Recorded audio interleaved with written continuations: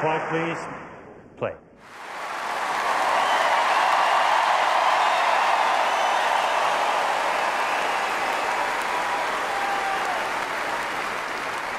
I don't know whether you realize what you've done, but boy, how does it feel to hold that trophy now? Yeah, it feels uh, slightly different to, to last year. Um, you know, it was last year was one of the toughest toughest moments in my career. So to, to manage to win the tournament today, it was unbelievably tough match. Uh, so many long games, and I don't know how I managed to, to come through that that final game. It was unbelievable from three match points. So I'm just so so glad to, to finally do this.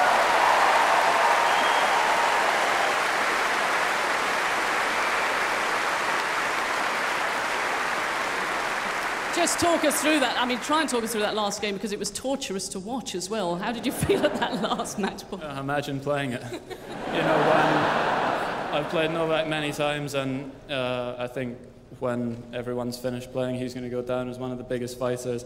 He's come back so many times from losing positions, and he almost did the same again today. So uh, that made it extra tough, and uh, I don't know, just managed to, to squeeze through in the end. You played such a great match, but how good were the fans here and on Henman Hill and in Dunblane and at home? Yeah.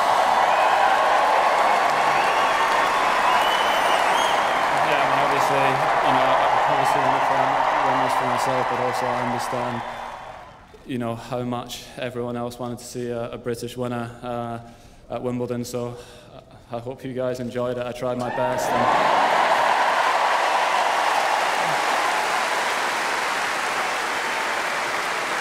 And I know you'd like to mention your team, but I'm glad you didn't forget your mum. I did forget her. I just heard her squealing behind me when I was trying to get down, and uh, I turned back. But no, I mean they've been through everything with me.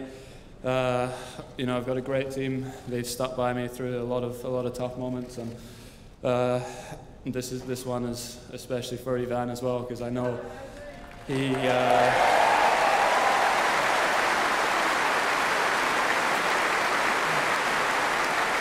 You know, he did, uh, he did everything, um, you know, to try and win this when he was playing, and I'm glad I was able to help him out uh, when he was coaching. He's a fantastic, uh, he's a fantastic person. He's worked extremely hard with me, been very patient because I'm not easy at times, and uh, thank you very much to everyone up there. Thank you. And he's smiling as well.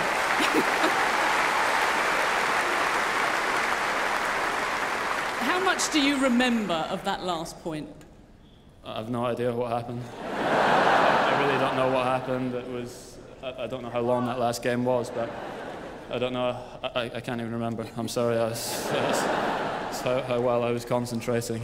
we will enjoy watching it time and time again. Ladies and gentlemen, the Wimbledon champion for 2013, Britain's